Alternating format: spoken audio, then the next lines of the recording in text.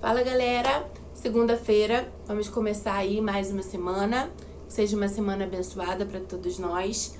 Bom, e ontem, dia 15 de novembro, apesar de ser domingo, também o dia das votações, né, dia de eleição, foi um feriado, que é o dia da proclamação da República. Então, todo dia 15 de novembro, nós comemoramos esse dia. E é um dia cheio de fatos históricos, são muitas coisinhas, muitas pecinhas assuntos que vocês vão estudar mais pra frente, quando vocês estiverem maiores. Porém, a gente vai dar uma pincelada para entender um pouco o que, que foi esse dia, tá? Então, para vocês entenderem, nós tivemos lá, né, toda aquela história da independência do Brasil, quando Dom Pedro declarou a independência do Brasil, né? E ficou por frente aí do de comandar o nosso país. Desde aí, né, como já era em Portugal, o país era comandado pela realeza, né? Eram os reis, eram os imperadores, enfim, a família da realeza que ficou responsável por comandar o Brasil. Esse tipo de comando, esse tipo de descendência, que é o filho do rei, depois o filho do imperador, que se torna o novo imperador, é chamado de monarquia. Quem nasce numa família de poder automaticamente herda o poder também. Portanto, era assim que era feito aí essa administração do Brasil. O imperador tinha um filho, seu filho ficava responsável pelo comando do Brasil. Depois disso nascia outro filho e esse filho era o responsável. Era assim que funcionava. O exército naquela época não concordou, não concordava com essa forma de governar. Já tinha acontecido até então muitos atritos, não foi de uma hora para outra.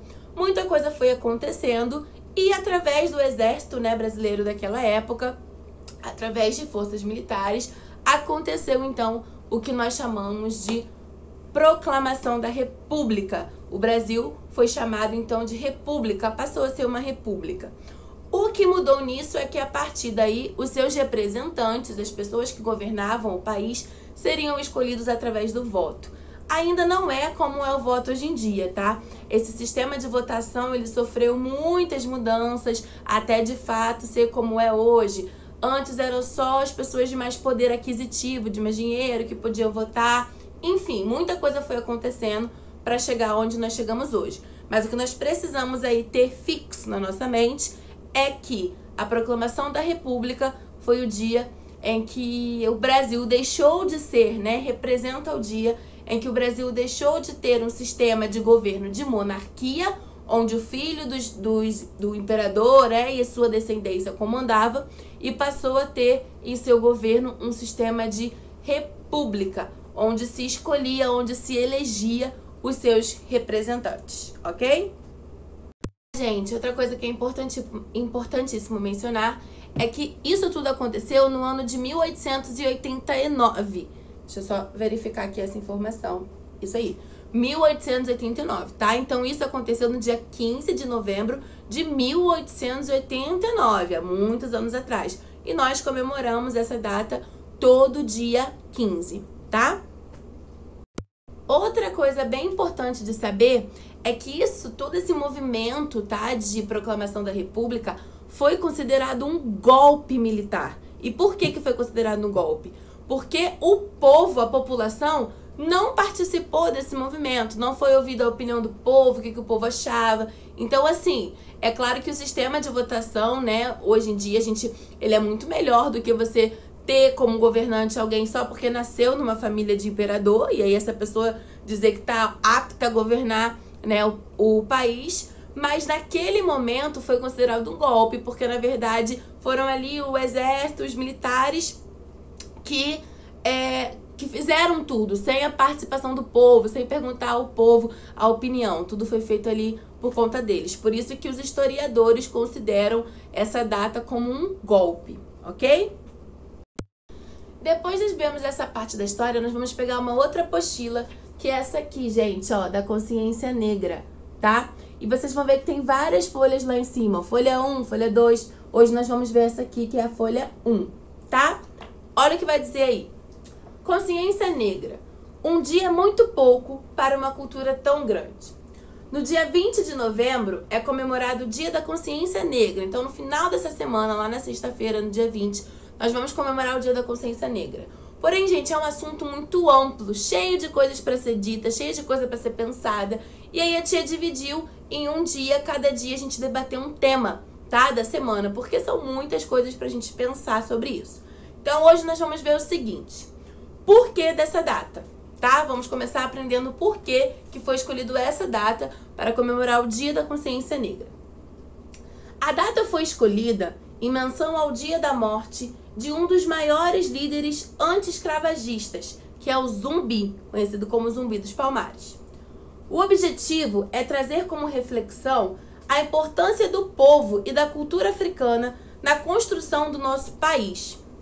Último líder de um dos maiores quilombos do Brasil, o de Palmares, Zumbi enfrentou as investidas da coroa portuguesa em defesa dos escravos, que fugiam do trabalho desumano e das torturas vigentes nas, faze nas fazendas da época. Então, gente, as pessoas que fugiam, os escravos que fugiam das fazendas, eles iam para lugares chamados quilombos. É como se fossem tribos. As tribos indígenas, eles faziam seus quilombos e eles ficavam naqueles lugares, tá? Isso que significa quilombo. O Zumbi dos Palmares, ele era um líder de um dos maiores quilombos que existiam na época, tá? Que era chamado de Palmares. Por isso que ele ficou conhecido como Zumbi dos Palmares. Na época, Palmares era o maior quilombo do país, chegando a receber em seu auge cerca de 30 mil escravos fugitivos. A região onde estava localizado pertencia à capitania de Pernambuco, hoje atual cidade de União dos Palmares, município de Alagoas. Prestes a se tornar uma lenda, no ano de 1965, da referida data, Zumbi é morto aos 40 anos por agentes do governo e partes do seu corpo foram expostas em praça pública na cidade de Recife. Para relembrar os feitos históricos e a luta pelos direitos da pessoa negra, em 9 de janeiro de 2003 foi incluído no calendário escolar atividades referentes ao Dia da Consciência Negra. Então, gente, o governo, né, os governantes da época conseguiram capturar o zumbi e quando isso aconteceu, eles me mataram e penduraram, né, partes do seu corpo para ficar exposto, para deixar bem claro, né, na época que eles achavam que eles eram maiores ou superiores aos negros e que era isso que iria acontecer com quem se revoltasse com ele ou com eles, com quem lutasse ou com quem fugisse. Então eles fizeram isso para amedrontar mais ainda, né, mais do que já era amedrontada a população negra. Isso foi no dia 20 de novembro desse ano. Deixa eu te relembrar aqui que são muitos anos pra gente gravar, né? 1965. Foi no dia 20 de novembro de 1965 que isso aconteceu. A morte de Zumbi dos Palmares, né? Ou pelo menos a exposição lá de partes do seu corpo. E é por isso que nós comemoramos, paramos para pensar um pouquinho mais, né, nessa, nessas situações nesse dia, tá? No dia 20 de novembro. Vamos aqui para baixo agora, ó, esse quadrinho. Vamos ver o que, que vai falar aí. Bom, essas informações nos mostram a origem da data escolhida para esse dia. E é muito importante que tenhamos esse conhecimento. Mas a consciência negra é muito mais do que isso.